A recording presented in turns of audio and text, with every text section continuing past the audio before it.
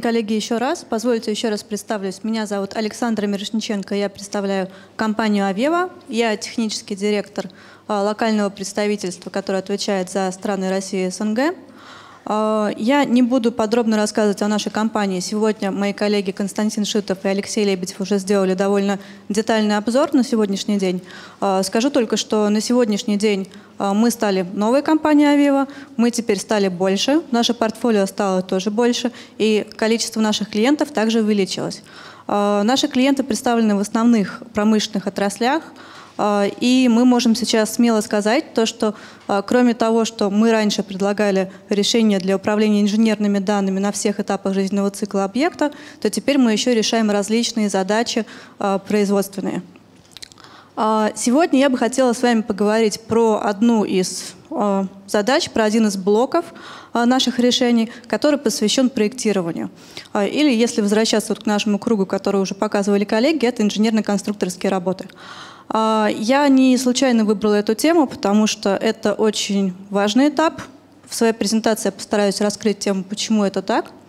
А, основной принцип, который заложен в наши программные продукты, это объектно-ориентированный подход – то есть в фокусе у нас находится не документ, который выпускается для проектирования какого-то объекта, а тот объект, который потом будет также у вас на производстве, а, который перед этим необходимо установить, перед этим необходимо закупить, а перед этим необходимо выпустить всю проектную документацию. А, то есть а, мы говорим фактически с вами уже на одном языке, начиная с самых ранних этапов проектирования, когда этот объект только у нас начинает задумываться. При этом а, наше решение позволяет вовлечь все проектные дисциплины, то есть это и проектирование оборудования, это и трубопроводы, и строительные конструкции, и все-все-все, что необходимо для того, чтобы построить вот такой комплексный большой объект. А, кроме того, а, все проектировщики работают в единой среде. И между различными стадиями проектирования у нас идет бесшовная сшивка данных. То есть а, мы можем говорить о том, что, например, данные с технологической схемы, вот об этом насосе передаются далее проектировщику при компоновке, при выпуске планов оборудования. А, эти же данные у нас пойдут потом в спецификации закупочной и так далее. То есть, как сегодня говорил мой коллега Константин Шитов, у нас нет необходимости дублировать данные. Мы переносим изменения в автоматизированном режиме, а, из одного этапа в другой. Это исключает возможные ошибки и повышает качество проекта в целом. Также мы можем производить контроль изменений. А, это тоже очень важный момент. А, мы можем в любой момент понять, кто, когда и почему внес какие-то изменения. А, это нам позволяет также производить работу с различными ревизиями. Это вариативное проектирование, если необходимо, что особо может быть актуально при ранних стадиях или, например, при выходе проектной организации на тендер. А, также мы можем говорить о таких проектах, как модернизация. Благодаря технологиям лазерного сканирования и совместной работы с облаком точек и реальной моделью, которую мы разрабатываем, а, мы можем четко вписать существующую обстановку проектируемые объекты. Вот один из скриншотов показывает такой пример а, мы видим панорамную съемку, и в центре у нас вписана модель проектируемого заново узла, который в, этом, в этой установке будет в будущем построен. Ну и, конечно же, мы не забываем о том, что на сегодняшний день, к сожалению, а, информационной модели недостаточно. Естественно, наши системы должны также помогать выпускать документацию по проектируемому объекту, потому что а, продукт любого проектного института, это все-таки документация. Так вот, и здесь мы тоже проектировщикам помогаем. Мы помогаем им выпускать документацию в автоматизированном режиме. Что это означает? Ну, к примеру, если мы говорим о каких-то планах расположения оборудования, то это слепок конкретной трехмерной модели в конкретный момент времени, а, и при этом, если что-то меняется в модели, то эти изменения, естественно, переходят в чертеж. Это нам помогает вместо того, чтобы вносить изменения во всю документацию, в которой встречается наш объект. Достаточно просто изменить в одном месте, например, какой-то параметр этого объекта, и эти изменения по цепочке передадутся в ту документацию, которая связана с этим объектом. А, что еще дает объектно-ориентированный подход? А, давайте рассмотрим а, такие графики, которые отображают распределение трудозатрат на протяжении времени на проекте. Здесь синим обозначен традиционный подход, который мы условно иногда называем 2D-проектирование. И красным показан объектно-ориентированный подход. А если посмотреть на ранние этапы, то мы видим, что при объектно-ориентированном подходе у нас трудозатраты несколько возрастают. А, но зато а, на более поздних этапах у нас трудозатраты при традиционном подходе гораздо больше. Почему это так? Из чего это складывается? На первом этапе, когда мы говорим об объектно-ориентированном подходе, для проектировщика у нас возрастает, возможно, в чем-то нагрузка, потому что если мы говорим о каком-то новом проекте, о новом типе объекта, то здесь необходимо более плотно формировать информационную модель по сравнению с тем, как это происходит в 2D-подходе, когда проектировщик просто отрывает какие-то старые чертежи, копирует данные, вставляет и передает заказчику. А здесь требуется более точная проработка, более качественная. Но в будущем, когда мы говорим о том, что пришли какие-то изменения, например, поменялся поставщик оборудования, а, в этом случае объектно-ориентированный подход э, значительно выигрывает как раз за счет того, что мы вносим изменения один раз в информационную модель и не дублируем эти изменения, не ищем, где этот объект у нас встречался еще, чтобы вручную эти изменения внести. Что происходит при 2D-подходе? Мы видим вот эту большую синюю заштрихованную область. Она как раз отражает те изменения, которые проектировщикам приходится в конце проекта вносить, когда все в панике, все заняты и пытаются все это вычистить, учесть и потом выдать заказчику. А, при этом, конечно же, мы можем также утверждать, что при объектно-ориентированном подходе у нас возрастает качество данных, которые мы выдаем в конце. А вот эта заштрихованная часть за счет эффекта обучения у вас может даже снижаться, а если мы говорим о повторном проекте каком-то типовой установки, или если мы, в принципе, говорим о том, что система, которая используется, уже внедрена на достаточно высоком уровне и позволяет снижать трудозатраты и на первом этапе. А так ли важно качество проекта? А мы уверены, что да, качество проектных данных крайне важно, потому что а, те данные, которые закладываются в проекте, как сегодня говорил Константин, а, эта информационная модель, она очень тесно связана и передается на другие, более поздние стадии проекта. Ну, конечно, если у нас низкое качество, мы можем получить какой-то неожиданный результат в конце, а, но если говорить серьезно, то здесь действует такое правило. А если взять а, за условную единицу стоимость исправления ошибки на стадии проектирования на каком-то раннем этапе, то с каждой следующей стадии в разы, а иногда даже на порядке, стоимость исправления увеличивается. Именно поэтому эффективное проектирование позволяет нам значительно сократить затраты, которые могли бы у нас получиться в конце проекта, если, например, ошибка выявлена уже на строительстве, как в примере с мостом. А, кроме того, а, данные проектирования могут быть полезны. А, в последнее время у нас такая тенденция, что они уже идут как обязательные к предоставлению заказчику на более поздних стадиях проекта. То есть, допустим, если мы рассмотрим пример, когда проект у нас уже реализован, объект уже построен и запущен в производство, то эта модель в формате «как построена» также может быть полезна. А, я сейчас вернусь к тому же примеру, про который рассказывал Алексей. А, так вот, этот пример возможен только в том случае, если качество данных, которые пришли с проектирования, у нас достаточно для того, чтобы быть уверенными, что этот насос стоит именно в этом месте и что именно такие его параметры. Ну, то есть вот мы нашли этот объект, который нас интересует.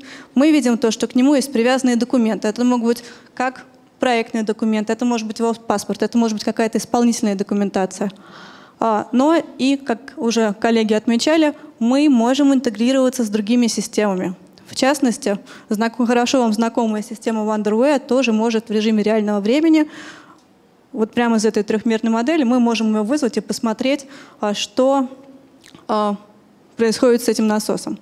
Опять же подчеркну, что без должного качества этого проекта, мы бы такой картины с вами получить не смогли. А, поэтому, а, резюмируя, хотелось бы сказать, что качество проекта определяет будущее вашего актива, а поэтому эффективные инструменты вам в этом могут помочь. Спасибо за внимание. Буду рада ответить на ваши вопросы. А Сейчас коллеги вам передадут микрофон. Проектирование в каком формате происходит? В открытом или это ваш какой-то? А, наши решения работают с нашей собственной базой данных, но существуют разные форматы передачи данных, потому что мы понимаем, что мы живем не в вакууме, что необходим обмен информацией с другими средами, поэтому у нас есть интеграция через нейтральные форматы ну, с основными проектными Ну, в системами. частности, э, архитекторы в BIM, по-моему, сейчас проектируют 3D-модели. С BIM есть? Building Information Model. А, смотря что вы интеграция. понимаете под BIM. Просто BIM это в принципе Ну не да. софт, это не система, это некая Это школа формат. мысли. Это формат. как А, бы. это Я- не совсем там- формат, я тут с вами не соглашусь, это концепция. А то, о чем вы говорите, я подозреваю, вы имеете в виду формат IFC, который используется сейчас в основных BIM-приложениях. А, да, мы такой формат поддерживаем и обмениваемся данными с различными системами. Спасибо.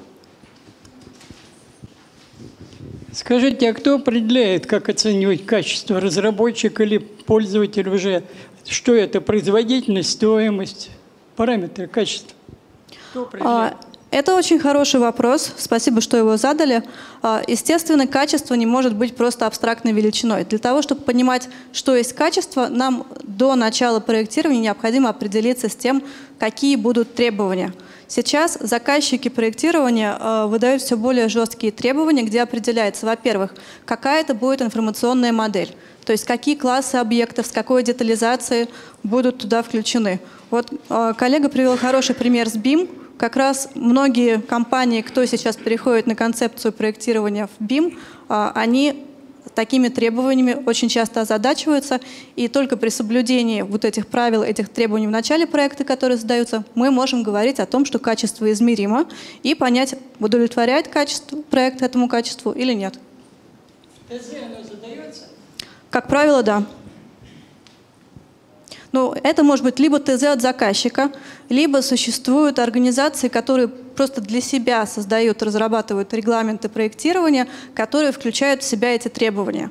То есть, например, компания, может быть, каких-то явных преимуществ не имеет а, в финансовом выражении а, на стадии проектирования, но она снижает риски выдать неправильные данные на строительство. Это тоже многого стоит, поэтому а, это либо требования, которые включаются в ТЗ на проектирование, либо это какой-то внутренний регламент проектирования у организации. Чаще всего оно совместно. А, совместно с заказчиком? А, ну, естественно, договариваются заказчики с проектными институтами о том, что они могут обеспечить, что нет. Здравствуйте, как бы. У меня вот такой вопрос, знаете, чисто из практической области. Например, самый простой пример. Мне нужно спроектировать газовый сепаратор. Я запускаю ПРО-2, рисую технологическую схему, подбираю режим, получил наиболее оптимальные параметры. Что дальше? Про А- Авева когда начинается? Когда надо монтажно-технологическую схему уже рисовать и потом уже сконструировать аппарат или раньше? Спасибо на вопрос. э, За вопрос. А, Я сегодня вам отвечу так. Она началась с Pro2, потому что теперь это тоже наш программный продукт. А, Если бы мы говорили чуть раньше, то начиная с Pro2 мы бы начали э, с, тега, э, с перечня тегов. То есть а, мы бы занесли этот сепаратор со всеми его характеристиками в базу технологического оборудования, и на основе этой базы мы уже передали бы информацию дальше для создания схемы PNID или технологической схемы. Ну и дальше была бы компоновка и так далее по цепочке проектирования.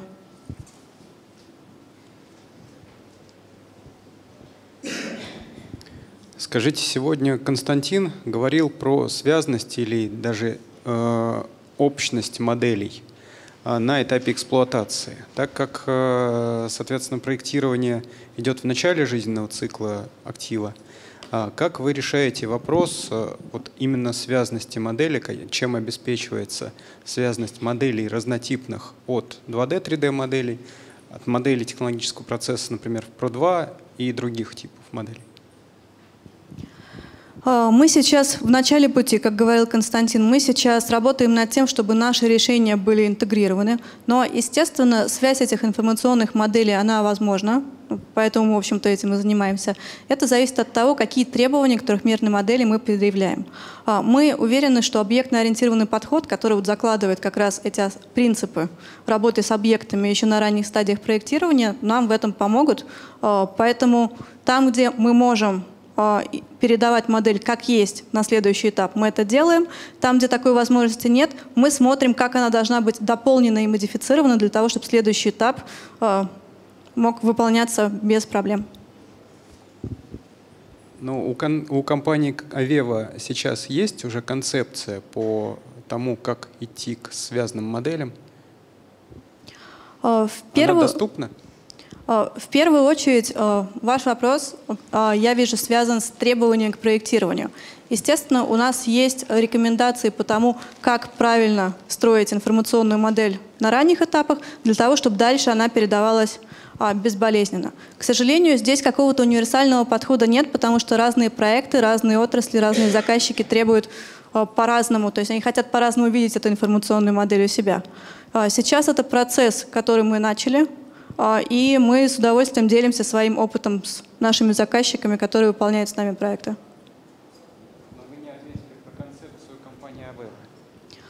Общая архитектура решения, да, мы сейчас готовы разработать и предложить конкретному заказчику с учетом его конкретных требований, какую архитектуру мы видим оптимальной. С точностью до болта вот эта детализация должна разработываться под конкретный проект. Нет, я говорил именно про концепцию компании Авева, пути развития на продуктах Авева.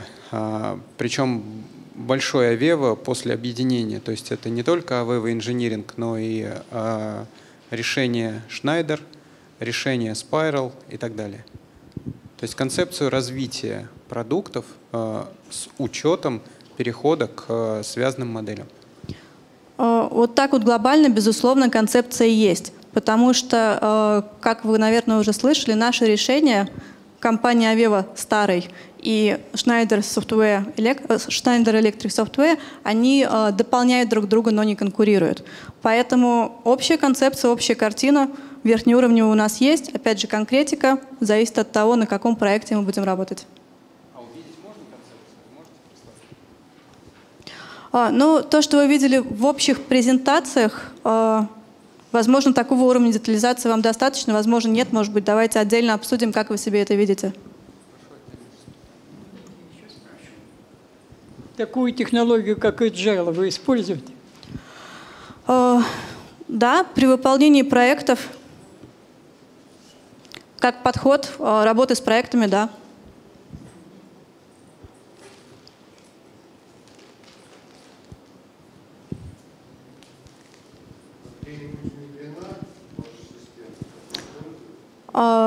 Конечно. Э, Во-первых, если мы говорим о решениях о проектировании, для проектирования только, то да, у нас уже есть э, более 140 клиентов только в России.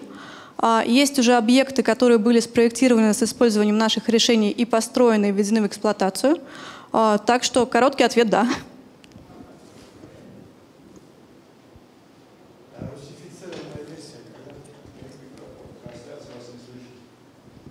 Русифицированная версия когда будет?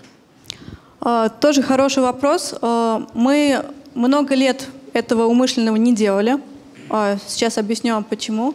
Наши заказчики, как правило, требуют от нас предоставления фиксов и сервис-паков, которые выходят к нашим программным продуктам сразу.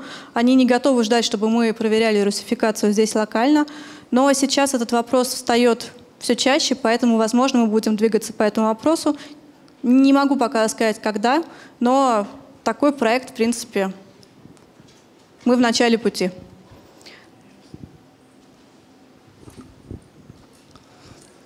Э, Здравствуйте, Павел, компания Кратек. А Хотел бы узнать, есть э, какая-то интеграция с э, проектом Вавева уровня DCS или верхнего уровня СУТП с прикладным программным обе- обеспечением уже непосредственно базового программного обеспечения для реализации вот DCS и ну, верхнего уровня СУТП?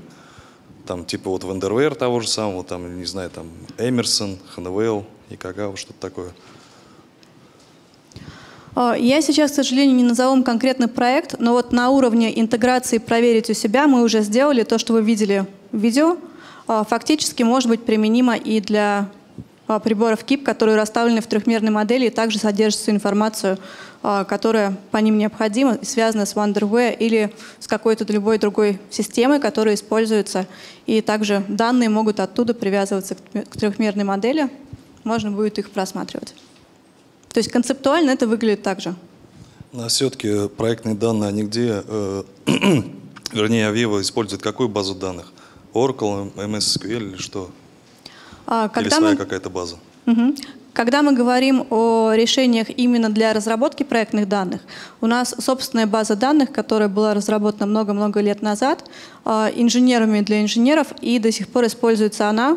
А, Мы умышленно не стали переходить ни на какие общепринятые базы данных, потому что та идеология и то ноу-хау, которое было заложено много лет назад, работает и сейчас. То есть то, что мы с вами видим графическое отображение сегодня, а, раньше, когда компьютеры были слабее, не было возможно все это реализовать. Но в то же время хотелось работать с очень большими объектами, проектировать большие нефтеперерабатывающие заводы, тепловые станции и так далее. А, Вот тогда появилась наша база данных, которая хранит фактически только атрибутику. Она никогда не хранила графику. То, что вы видите на экране, это отображение того, что хранится именно в базе данных. То есть, если это какой-то кубик, то в базе данных хранится информация, что это кубик и его параметры. А, Такой подход работает и сейчас. А, Благодаря этому проекты, которые выполняются в среде Авева, весят не очень много. Они могут передаваться, это просто гигабайты, наверное, а а не терабайты информации. И при этом мы можем работать практически с неограниченными объемами проектных данных, потому что а, такие крупные объекты, как, опять же, заводы, а, какие-то большие судна, которые тоже проектируются в наших решениях, они требуют довольно большой нагрузки на базу данных. Наша база данных Дебакон с этим успешно справляется. Ну так вот, э, хотел бы знать, все-таки есть какие-то примеры передачи э, спроектированных, э, спроектированной информации данных, да, уже непосредственно в прикладной п- программный проект у Авева. Ну, например, как у Интеграфа, да, у них там есть Intools, Instrumentation, они передают данные сразу в Delta V. У вас такое есть, нет? А, К сожалению, я не очень хорошо знакома вот с этим интерфейсом, который вы сейчас назвали у компании Интерграф, но э, даже если его сейчас нет, то это можно сделать, потому что у нас открытый интерфейс, мы можем любые данные получить, такую интеграцию настроить. То есть, возможно, где-то в мире есть такие проекты, я о них просто сейчас не знаю, а, но опять же это возможно, потому что в рамках проекта это можно реализовать путем программирования, путем а, забирания нужных данных из нашей системы и трансляции просто в другую. Так что технически да, а пример сейчас, к сожалению, не назову. Спасибо.